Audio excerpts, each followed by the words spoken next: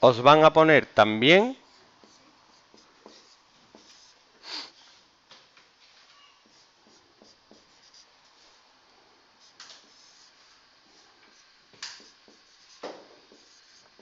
sumas y restas de fracciones algebraicas. Aquí lo primero que hay que hacer es el mínimo común múltiplo, igual que si fueran otras fracciones, de los denominadores. Esto es un factor y esto es otro factor y no son comunes. ¿Vale? Así que el mínimo común múltiplo es x menos 1 por x más 1. Y ahora tendría que escribir estas dos fracciones con el mínimo común múltiplo como denominador.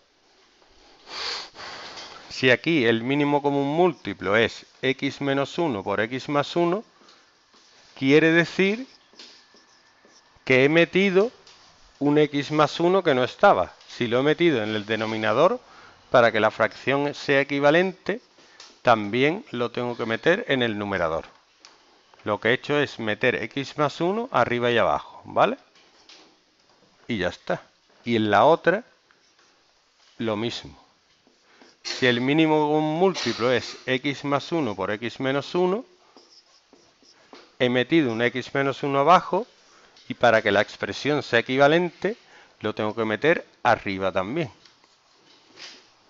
Es lo mismo, pero le he metido un x menos 1 que era lo que me faltaba en el denominador.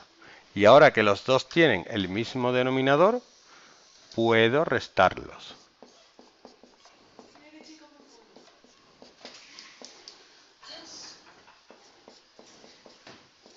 Estoy grabando, Mariano.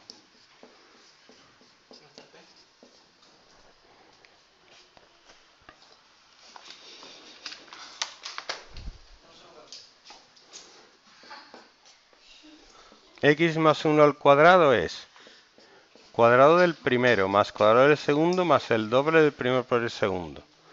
Y ahora, cuidado, menos por más, menos 2x por x 2x cuadrado. Y menos por menos, más. 2x por 1, 2x.